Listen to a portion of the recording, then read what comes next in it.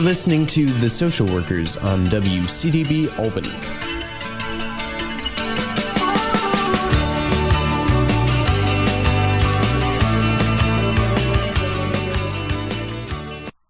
And welcome back to the Social Workers on WCDB Albany. My name is Eric Hardiman.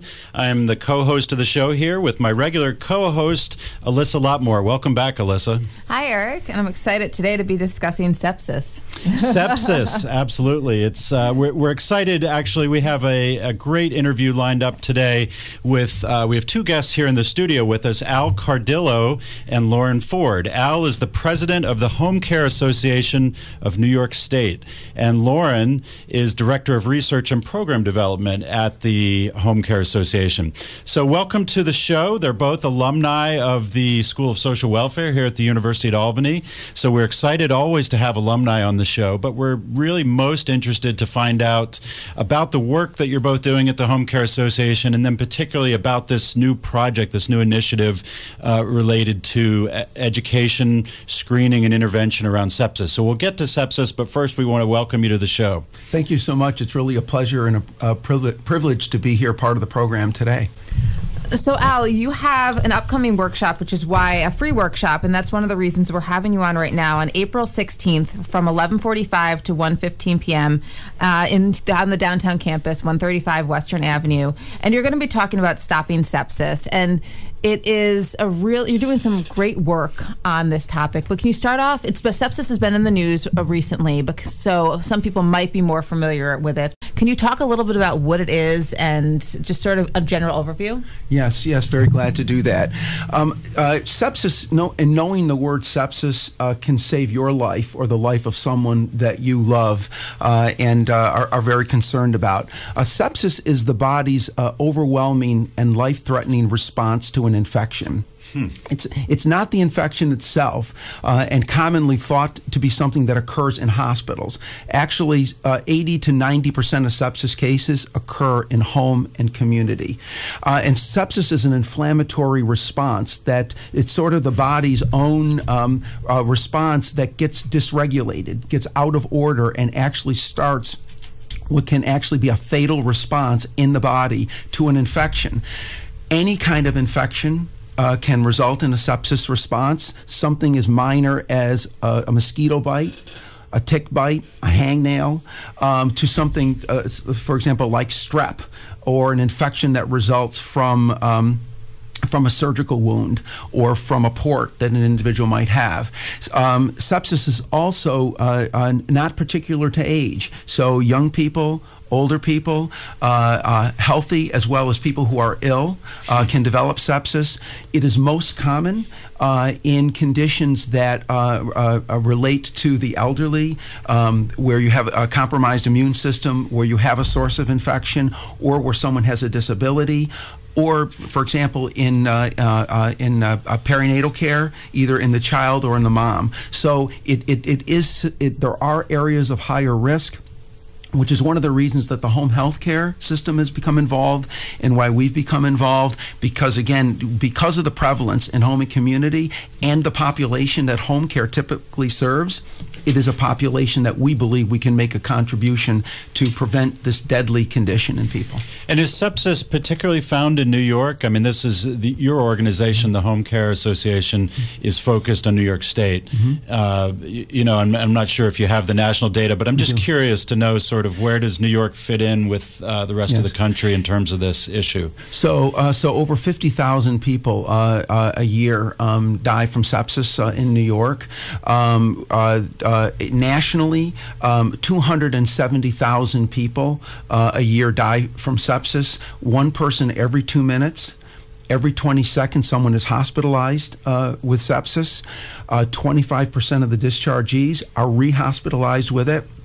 There's something like 38 amputations a day associated with it. And on the national scale, sepsis costs $27 billion in our, our, hospital system. It's the number one hospital cost and number one uh, death in hospitals. But again, something you don't hear too much about. Yeah, and, and you, you know, if I could ask you to, uh, you know, uh, surmise a little bit, what what's that about? Why why is this a hidden emergency, a hidden medical emergency that folks don't really talk about as, enough? And thank you. That that's really a, that question is so on point. Um, we know that in circumstances like stroke, for example, there's been a lot of education about recognizing signs and symptoms. The same thing with a cardiac event. In the case of sepsis, it's most treatable when identified early on, but early on are when symptoms are diffuse or they're not easy to recognize and so what happens is, is that it's not until the person starts to feel uh, so ill, so incredibly ill, uh, or, are, or in fact are taken to the emergency room where it is often diagnosed. But because with, with each hour of delay, there's an 8% increase in mortality uh, in the patients many times by the time the person hits the emergency room or critical care they're already crashing mm. some some from the time they go from the emergency room into critical care they go from being uh, upright to being on a ventilator that's how quickly the condition can wow. move so it's something that even in the medical professional industry very often i think cdc found that 7 out of 10 patients with sepsis had interacted with a provider that had not recognized the signs and symptoms even on their own so this is really part of a major education education effort as much as it is a clinical screening. So we're talking about signs and symptoms. Is there anything else you want to add for somebody who's listening who might not know really what they should be looking for? I don't know, Lauren, if you want to answer that one.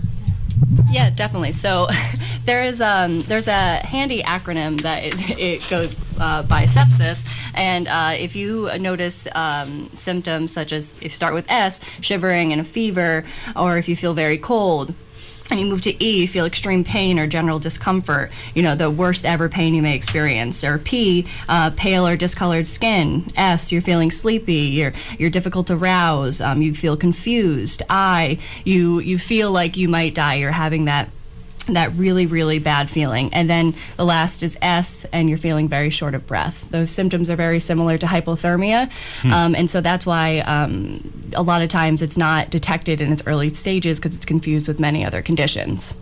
One of the things that occurred, you know, particularly this spring, you heard about the number of cases where individuals died from the flu right? right but but right. a lot of times those cases are really cases that have evolved into sepsis. Uh, you know, very recently the very high profile case of Whoopi Goldberg. Mm-hmm. You know, so very often it's something that's not detected uh, early on. Um, again, because of the nature of those symptoms, but that's when it's most treatable, and that's really why we took this initiative at the community level to try to make a uh, an intervention in this. And it sounds like uh, you know, correct me if I'm wrong here, but some of the education that needs to happen is not just with the general public, but it's also with the healthcare system and with medical providers. That sometimes this um, illness or the, or this situation, this condition is uh, is misdiagnosed or missed in the medical system. Yes, absolutely. And so one of the things that New York did a few years ago, which really uh, uh, was a leadership step in the country, is to require all hospitals to have protocols for sepsis assessment in the emergency room and then really throughout. Uh, working sort of on a parallel track, we uh, we look to create uh, a set of protocols for the community that would be used by practitioners in community health to uh, to assess for signs and symptoms or risks for sepsis at every clinical visit to an individual. And so we've actually made that a standard of care within the home health system in New York, creating a unique uh, instrument uh, for doing that. And Eric, you mentioned about the breadth of the project. So while we're focused in New York, other states are replicating our model as we speak. Uh, entire states uh, or systems in other states. It's yeah. a growing opportunity. So let's we'll come back to sepsis in a minute, but I, I, want to talk a little bit about your organization, the Home Care Association of New York State. How did uh, how did you come to be involved with the Home Care Association, and wh- what's the scope of work that your organization provides? Well, um, my story actually goes back quite a ways, but uh, so I'm an alum of the School of Social Work here at the university, and actually um, uh, I got my start in this whole field of, of home care and public health back at a time when the when this was a very formative level of uh, system development in the state. I happened to be in the office of my advisor, uh, Professor Cohen, who received a call saying, We're looking for someone from the university that would be interested in being part of this new project uh, to develop alternatives to institutionalization and in home care and support. And he said, He's right here with me. I'll send him in. And so my career really started way back uh, in that way. And then about 12 years ago, I circled back to actually become part of the Home Care Association, and, and last fall was appointed as the president. And and tell us just you know for those listening, and if you just tuned in, we're listening to an interview with Al Cardillo, president of the Home Care Association of New York State. What what is the the breadth of what the Home Care Association does? So so as, as an association, we we represent and work with uh, uh, providers of in-home care. So, uh, for example, a visiting nurse association, hospice providers, uh, uh, hospitals like St. Peter's that have a, a very substantial home health program program. So these are organizations that deliver professional and supportive services in the home. Mm-hmm. Pretty much the way the system is evolving, it really is sort of, you know, from birth to end of life care. So home care agencies are involved in supporting women that have that have given birth and come home a day early, uh, to uh, support for medically fragile children to doing in-home assessments for asthma uh, risks, uh, as well as you know day-to-day support for individuals who have diabetes, uh, uh, uh, congestive heart failure, and it's a mix of professional, technological, and supportive services that are provided. It's important work. Um, so, uh, as I said, we've been talking with Al Cardillo, the president of the Home Care Association, and tell us a little bit about how sepsis came onto the radar of the Home Care Association. So, uh, about, uh, I would say, 10 years ago, uh, the Sepsis Alliance, which had been formed following the, the death of a, of a young woman, Erin uh, Flatley, who, who just had a simple surgical procedure, developed sepsis from it, and, and, and passed within several days. The Sepsis Alliance was formed to try to pr- increase awareness and education. We were contacted by Sepsis Alliance to say, Have you ever heard the word sepsis before? Would you know about it in your system? And they were calling every state. So uh, I did some outreach. Um, and what I found was most of the time I talked to practitioners, they associated it with something very serious, but in the hospital. Um, a, few years later, and this was after the passage of Rory Staunton that led to the hospital protocols, we visited the issue again, and, and again, the focus seemed to be, well, this is a hospital problem. But when I looked at the data, I looked at the overwhelming uh, percentages of readmissions to hospitals, uh, and also we came across the statistic which showed 80 to 90 percent was prevalent in the community. So we said, well, there must be something that home health can do to intervene in what is a catastrophic life altering, life threatening problem. So I called across the country. No one was doing anything on the community side. The focus was critical care and maybe getting it to the emergency room. But when we inquired, they said, if you do something, we'll support you. So, in that effort, we uh, we uh, engaged the support of the chief medical officer of National Sepsis Alliance, uh, a the, the, chief of medicine at Northwell University Hospital in uh, in uh, uh, Long Island, who had implemented a hospital sepsis program, and they worked with us with a group of home care clinicians uh, led by Amy Bowerman uh, in our membership, and we put together the ses- uh, sepsis assessment tool and mm-hmm. intervention tool in the community. So that's how it came to be. And and again, we continue to be the first and only uh, state uh, and system doing this. We've been very strongly supported by the CDC, uh, who also has our materials linked to their sepsis clinical resource site. No, I've learned a lot already just from what you've been talking about about sepsis, and I want to focus a little bit on this training that's happening on April 16th. It's a free training. It's oh, it's a workshop for faculty here at the university, for students, and also community practitioners. It's a free continuing education credit for licensed social workers, and I just want to read from the little bio or overview, I guess, from the flyer. It says a must attend for clinicians and health and human service organizational leaders. What you need to know about sepsis and saving lives. Tell me a little bit about how what this workshop is, why you're having it, and how it's going to impact the community.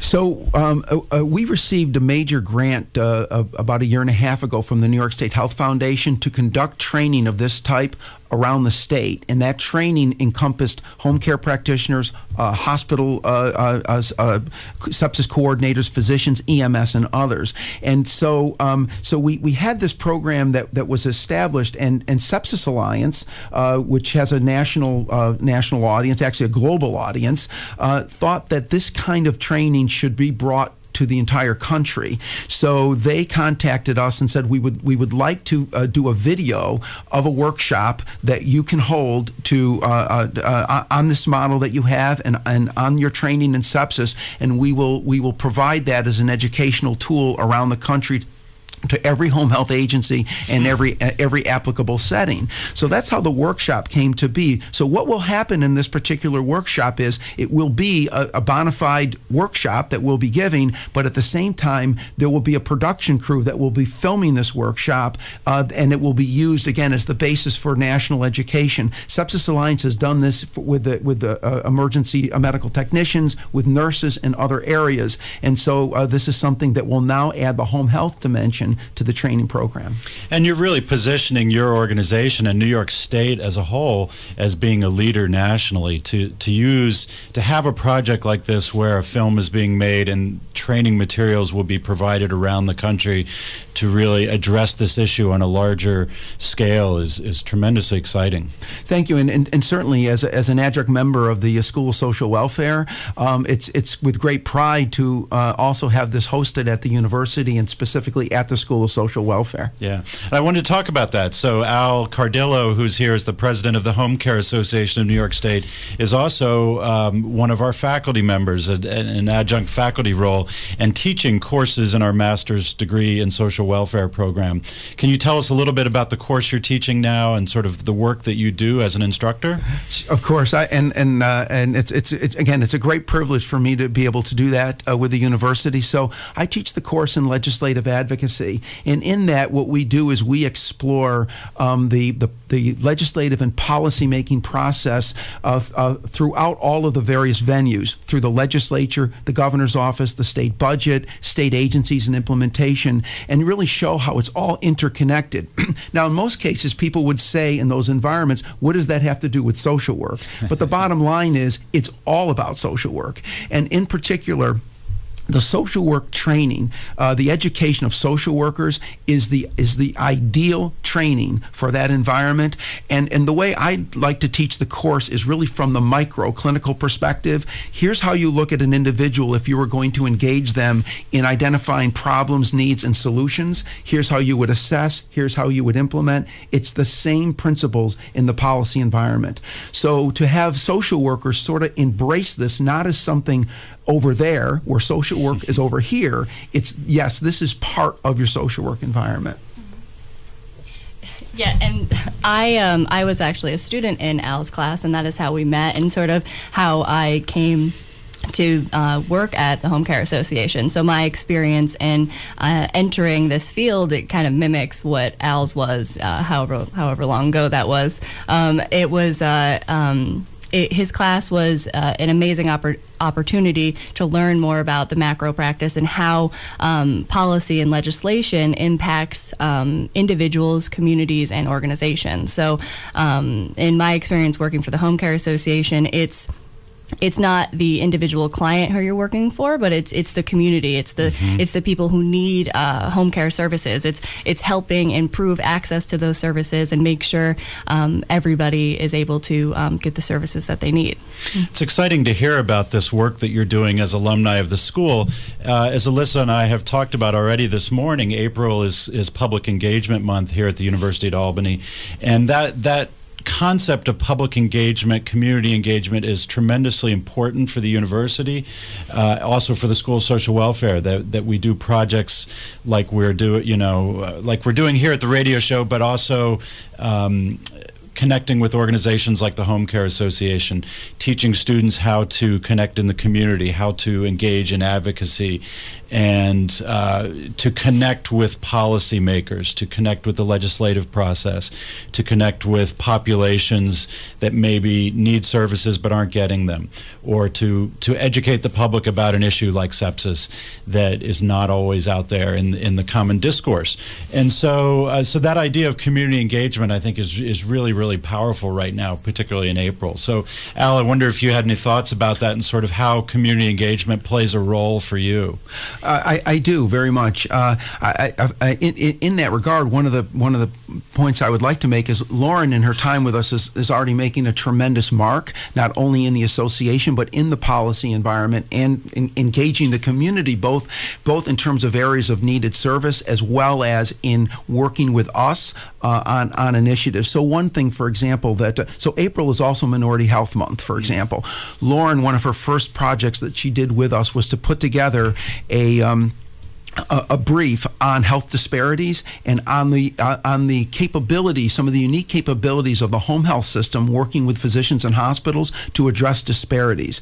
It's certainly, uh, you know, Martin Luther King said that uh, the greatest uh, among the greatest injustices is is inequity and injustice in healthcare, and we very much believe that. And so, this piece that we've developed is really an anchor to try to increase attention and bring all parties together, working toward disparities. And of course, Eric, we're working working together right now on a project that would bring the university system and students together with home health and hospice providers in areas of new research. Right.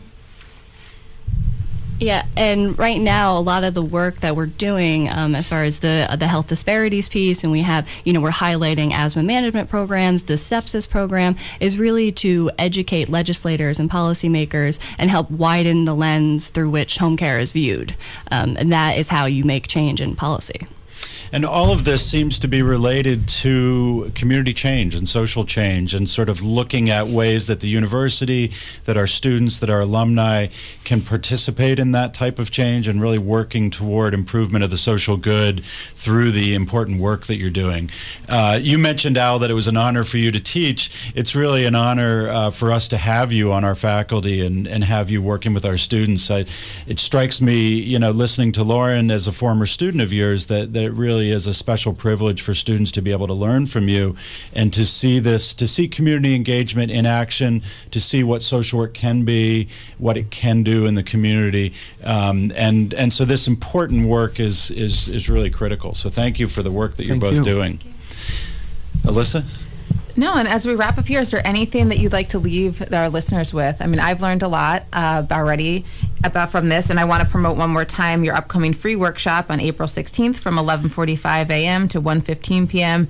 at the UAlbany downtown campus, 135 Western Avenue, held in the Husted Amphitheater. That's uh, Husted Hall, room 106A. So it's again, it's a free workshop open to community practitioners. Aside from them getting information there, is there anything else that you'd like to leave with them about sepsis? and maybe we've talked about the risk factors and we've talked about the symptoms. Is there anything else that you want somebody to know? Sure. I, I think the main thing I would like to emphasize is, is how important it is to, to, to have basic uh, uh, understanding of what this condition is. Because as I said, you may save your life or the life of someone that you know and love. I recently, we, we have a, a steering committee that guides our project and the, uh, the the commissioner of the state office for aging, uh, Greg Olsen, who's also an alum of the school, um, is on our steering committee. He recently received some feedback from members of his own team there about because Greg talks about this now all the time uh, about the extent to which just from hearing from him they have actually identified individuals as lay people who are showing signs and symptoms who have been told by their doctors that their knowledge that they might have had sepsis has saved their life. Hmm. So I think the main really thing that we want to really uh, um, get across is, is is that please come to this workshop to support that area of knowledge in yourself and everyone else that you might know.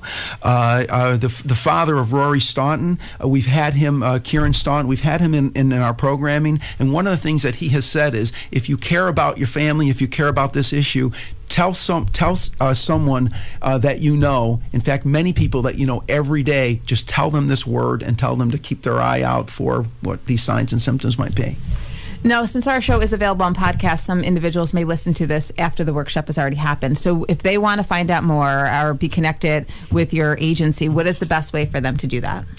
So they can they can contact us uh, at the at the Home Care Association. We actually have a uh, an email address specifically on sepsis. It's www.sepsistool at hca.org. Actually, I think the www doesn't belong. That's the website. We have a we have a Stop Sepsis at Home website. Okay, Okay. so it's www.stopsepsis at homeny.org. And the email address is a, uh, sepsis tool at hcanys.org. And then there's the Sepsis Alliance. That's www.sepsis.org. And there is the Rory Staunton Foundation for Sepsis Prevention. And if you just put that in, it'll bring up the website. And we will include all of these links on the podcast page, on the Facebook page, uh, maybe Twitter as well. We, we will we'll make sure to cover the social media links, which Alyssa is particularly good at, and. Um, so we, we will make sure that listeners to the podcast also get this important information because I think that's a that's a great point. Been listening to an interview here with Al Cardillo and Lauren Ford. Al is president of the Home Care Association of New York State, and Lauren Ford is the director of research and program development. Thank you both so much for being on our show, and uh, stick around for more information here on the social workers, and we'll be back live in the studio again in the near future. Thanks for listening to the social workers, WCDB Albany.